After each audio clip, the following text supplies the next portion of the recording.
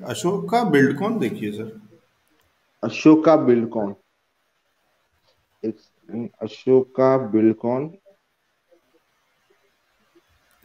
बढ़िया तेज़ी के साथ देखिए ये ये स्टॉक अभी करंट लेवल पे या जिन्होंने भी लिया रहेगा वो स्टॉक में होल्ड करने की सलाह रहेगी।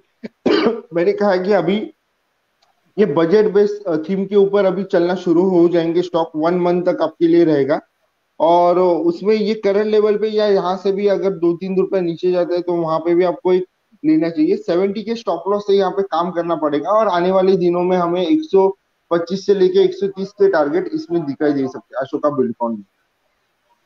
हम्म, ठीक है। लॉन्ग टर्म का अगर नज़रिया हो सर दो से तीन साल का तो?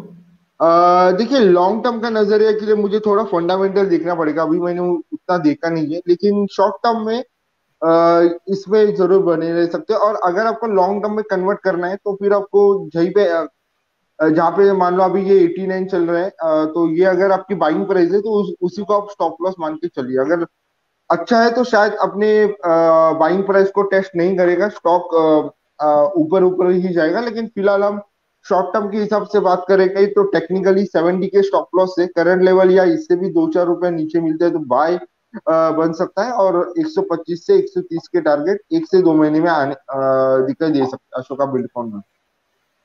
जी तो ये है अशोका बिल्डकॉन